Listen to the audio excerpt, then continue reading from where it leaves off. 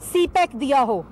جس وزیر اعظم نے پاکستان کے اندر سے دہشت گردی کا مقابلہ کیا ہو، جس وزیر اعظم نے پاکستان کو سڑکیں دی ہوں جس وزیر اعظم نے پاکستان کے اندر پہلا ہیلتھ کیئر پروگرام اور پہلا ایجوکیشن ریفارم پروگرام دیا ہو۔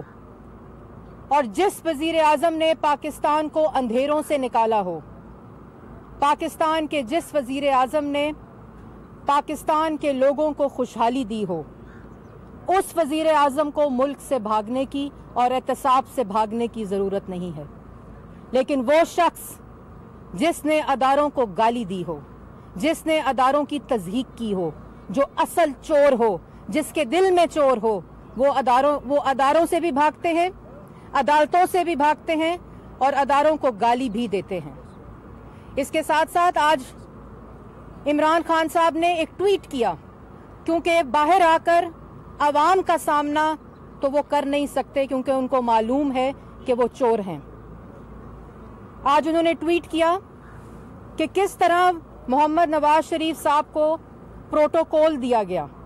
تو ان کے جواب میں عمران خان صاحب، پاکستان کی عوام، پاکستان کی عوام پروٹوکول اور سیکیورٹی میں فرق سمجھ چکے ہیں۔ لیکن آپ اس لیے نہیں سمجھیں گے کیونکہ جس وزیر اعظم نے ملک میں پہلی دفعہ ڈٹ کر دہشت گردی کا مقابلہ کیا ہو، ان کو سیکیورٹی کی ضرورت ہوتی ہے۔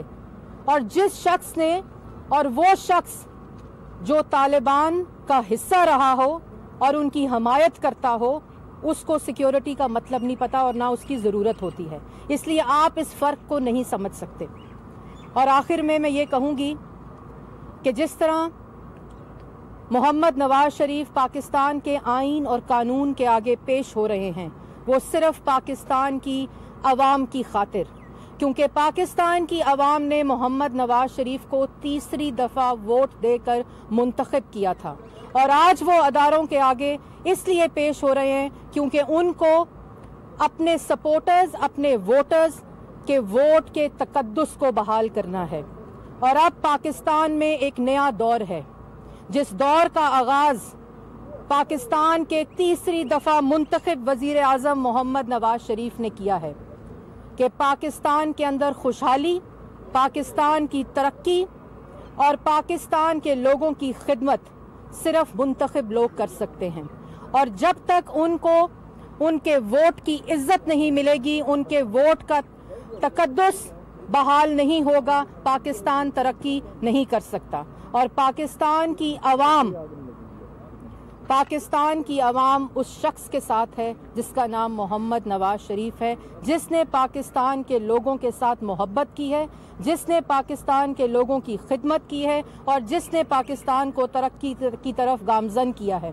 اور آخر میں، جس طرح پاکستان کے تیسری دفعہ منتخب وزیر اعظم نے جن کے خلاف نہ سپریم کورٹ کو، نہ جے آئی ٹی کو اور اب نہ نیب کو کسی قسم کا کوئی بھی کرپشن کا ثبوت نہیں ملا۔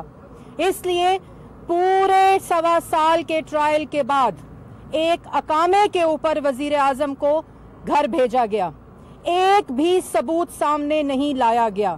تمام کمپنیز کو آؤٹ سورس کیا گیا لندن میں ایویڈنس اکٹھا کرنے کے لیے۔ وہ جو ٹرنک اور وہ اتنا بڑا ڈھیر ثبوتوں کا تھا اس کے اندر ایک بھی چیز ثابت نہیں ہو سکی۔